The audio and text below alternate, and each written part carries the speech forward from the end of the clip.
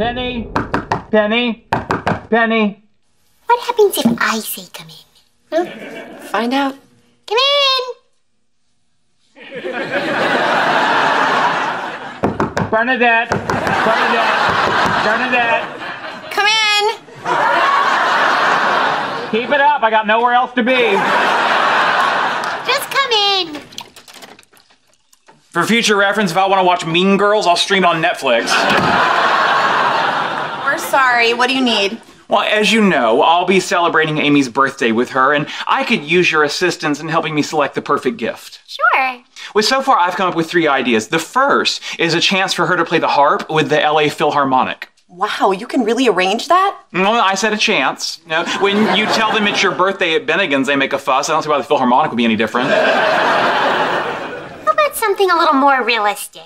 Well, Amy enjoys knitting her own sweaters, so I was thinking of getting her an all expense paid trip to the Wisconsin Sheep and Wool Festival.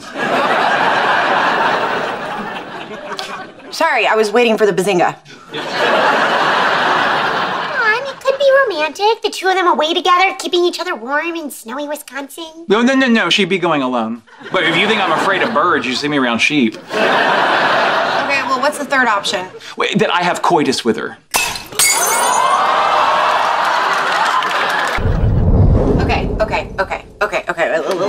Let's let's let's just recap our options. Right, we've got harp thing, sheep thing. Wow thing.